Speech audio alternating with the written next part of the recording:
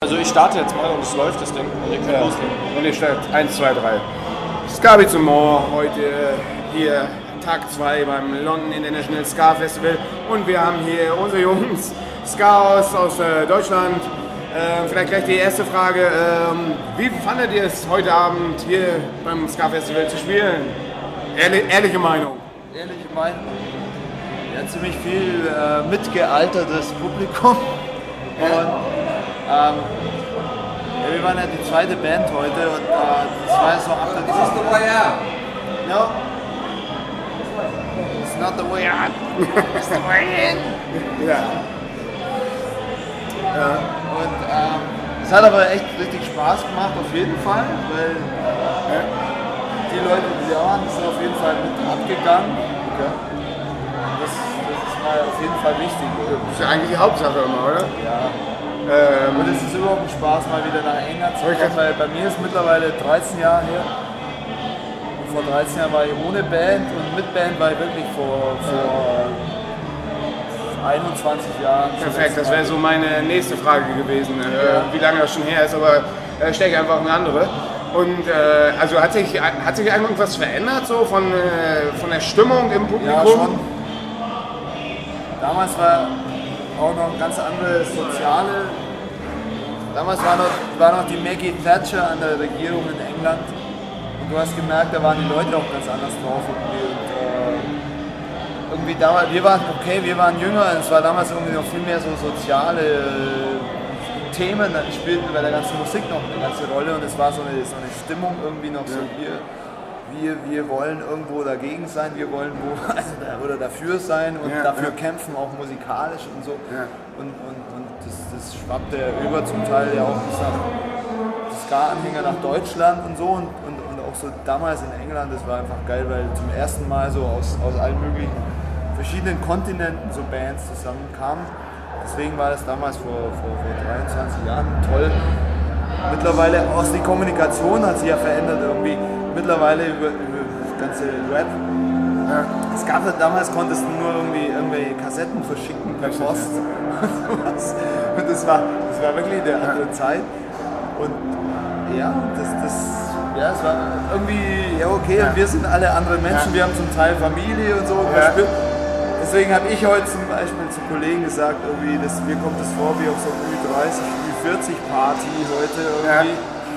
Und ähm, bei uns in der Gegend in Deutschland zum Teil oft, du kommst und du hast wirklich auch äh, junge Leute Genau, ja.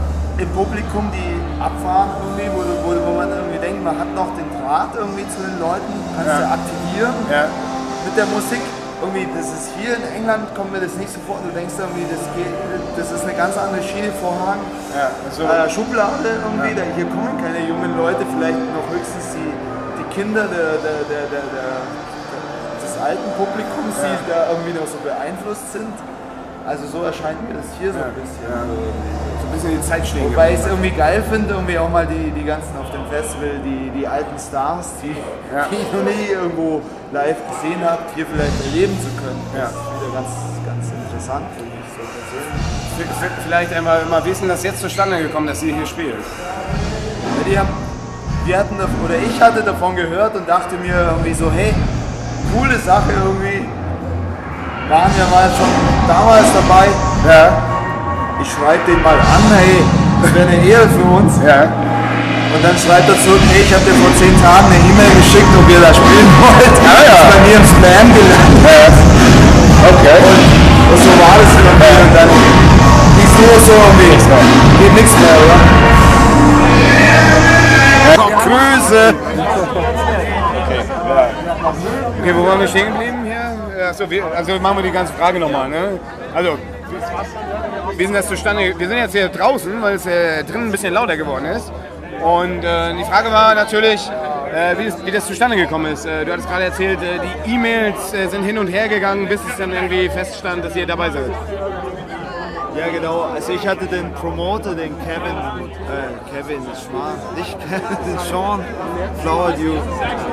Äh, angeschrieben, äh, wie wäre es denn, wir hätten echt Bock da zu spielen. Der hatte dann irgendwie zurückgemeldet, ich habe dir vor zehn Tagen eine E-Mail geschrieben, ja. wie wäre es, wenn ihr spielt. Und Schicksal, ne? ist bei mir im Spam gelandet, leider. Aber so kamen wir irgendwie zusammen. Dann ging es noch irgendwie ein bisschen um die Gagen. Da mussten wir irgendwie auch ein bisschen was für die Flüge drauflegen. Naja. Äh, aber dann dachten wir irgendwie, so ein Trip nach London ist irgendwie ist uns was wert. Ja, machen wir Moment. Äh, ja, vielleicht äh, zum Abschluss nochmal, äh, wo kann man euch als nächstes äh, sehen in der Schweiz oder in Deutschland oder überhaupt in Europa?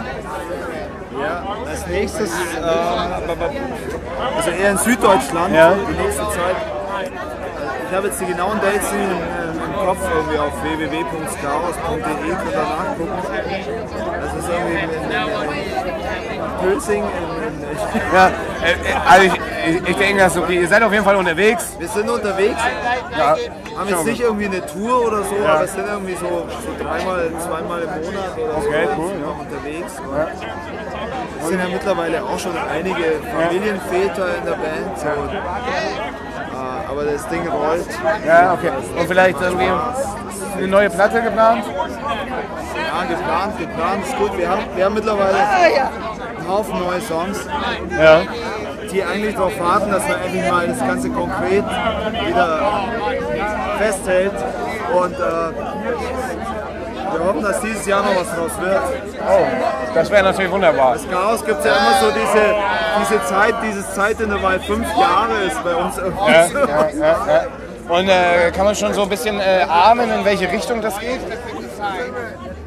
Oder traditionelles Chaos? Nee, tra- mh, ja, es ist bestimmt wieder irgendwie, sind vielleicht ein paar Überraschungseier dabei. Okay. Gut, aber zumindest abwechslungsreich. ja, auf jeden Fall vielen Dank fürs Interview. Hat, hat mich sehr gefreut.